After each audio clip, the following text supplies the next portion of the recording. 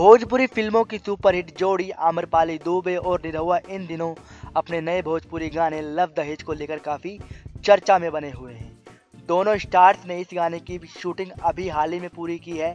इस गाने का ऑफिशियल टीजर यूट्यूब पर रिलीज़ कर दिया गया है। निरहुआ और आम्रपाली दुबे इस गाने के कई पोस्टर पहले ही सोशल मीडिया पर शेयर कर चुके हैं और अपने फैंस को इस गाने के जल्द ही रिलीज़ होने की जानकारी भी दे चुके हैं। इसके साथ ही आम्रपाली ने इस गाने पर अपना एक लेटेस्ट टिकटॉक वीडियो इंस्टाग्राम पर शेयर किया है। वीडियो में उनके को स्टार दिनेश लाल याद निरहुआ भी दिखाई दे रहे हैं। वीडियो में आम्रपाली निरहुआ से दहेज लेने पर सवाल करती हुई दिखाई दे रही है। बता दें कि इससे पहले भी आम्रपाली दुबे ने इस गाने का एक छोटा सा क्लिप सोशल मीडिया पर शेयर किया था। उनके द्वारा शेयर किए गए इस क्लिप में भोजपुरी गाना लव दहेज की कुछ लाइनें सुनाई दे रही हैं।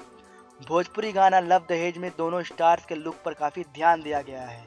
निरहुआ और आम्रपाली दुबे के अभिनय से सजे इस भोजपुरी गाने का दर्शकों को काफ़ी इंतज़ार है।